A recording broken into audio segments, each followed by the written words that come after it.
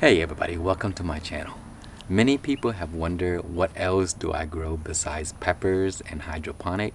So today um, we are going to pick some melons and so I'm going to show you what else I grow. Um, I, I do a lot of uh, hydroponic gardening but I also do a lot of outdoor gardening. So I grow from exotic herbs to peppers, melon, um, all kinds of different vegetable and all that stuff. Uh, today we're going to pick uh, a melon and uh, we're gonna try it out and let you see what else I'm growing. So the melon that I'm talking about is the honey kiss melon and it's, it's sitting here right behind me so I'll show you that shortly. So honey kiss melon is basically a, um, a hybrid of the Hami melon and the Hami melon was originally uh, developed in China that's where it's grown and uh, the honey kiss is basically uh, a hybrid developed for a, a company that brand all of the melon as kisses. So you'll find like honey kiss sugar kiss um, some other kisses but they're absolutely amazing melons and uh, they they can grow very big. Uh, they're very refreshing. They they grow really well in the summer. Uh, not too uh, like the extreme heat of Texas, but if you start them early, like uh, in April, and they go up into June and July, and then you can harvest the melon. So uh, we're gonna show you what the melons look like, and then uh, we're gonna pick it and try it out. So uh, let's go ahead and do that. Alright guys, here is a look at the honey kiss melon. These plants can grow very rigorously and uh, they can eventually just take over uh, your raised bed. So underneath there is actually my compost bin. See here? So I originally I had a tomato plant, which is the sugar, sun sugar. Look at this. These things produce so crazy. I mean, you can't eat all of them. They just produce so much. So the the birds would come by and they'll eat them. So that's okay because I have so many that uh, it's, it's fine that they'll eat a few. So back here is my honey kiss melon and it started actually right here. That's the original uh, spot where it's growing from. And then it, it crawled all the way out here into onto the the tomato plants and then it's now resting on uh, my raised bed and then here I have another tomato plant sitting in that container there and then it's also climbing all over the tomato plant. And uh, I started this uh, in March and then I brought them outside in about April and that's usually uh, how how how uh, how I do grow these and they grow the best that way. And during the heat of summer usually you see that they they don't produce too well when it's like extreme heat so they they kind of like die off. But I have a few fruits that took and they're way in there you see that? That melon is a massive melon. And then in here I have another one next to it down there. And then there's another one right here you see that?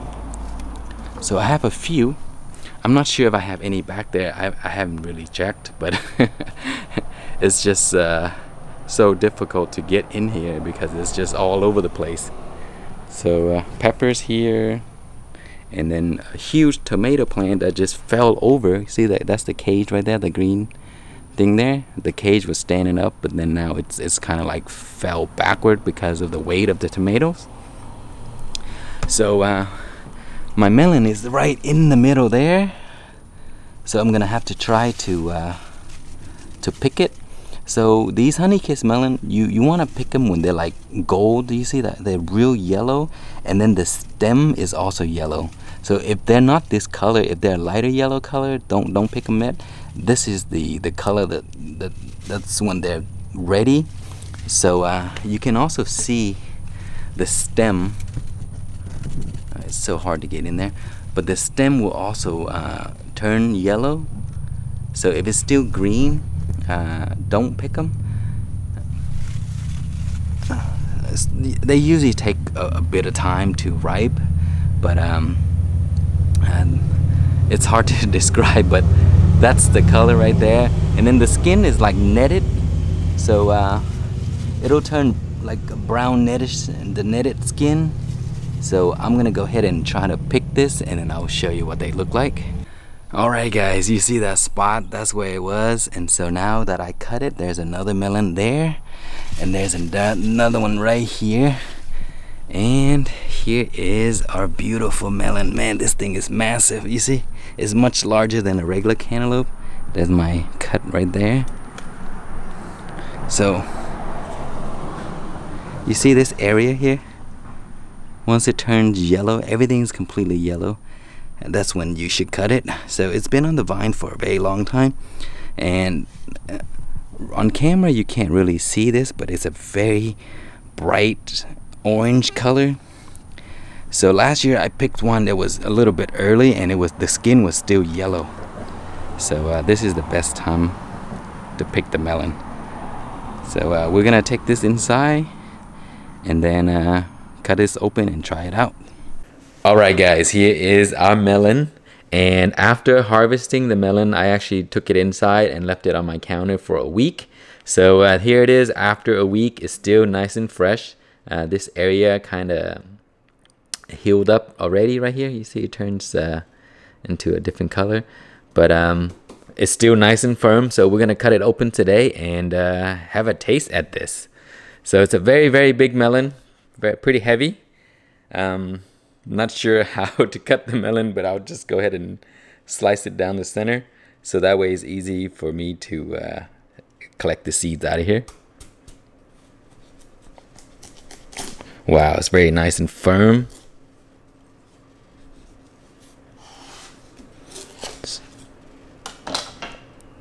Look at that. Wow, this is such a beautiful color. It's like a salmon color on the inside.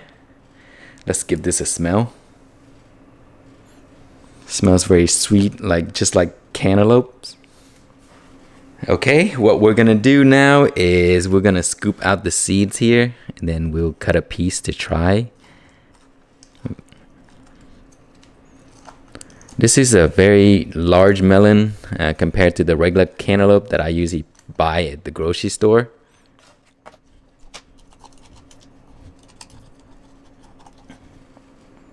Okay, let's cut a piece, just like how we eat it in the old days. Slice like that. And have a try at this. Alright guys, here it is, my honey kiss melon. Let's ha have a try at this. So the, the I grew this uh, early in uh, in April, I think. So uh, it, it did really well in the extreme heat and it produced a few fruits. I have four left right now. So uh, let's give this a try and see how good it is. Mmm.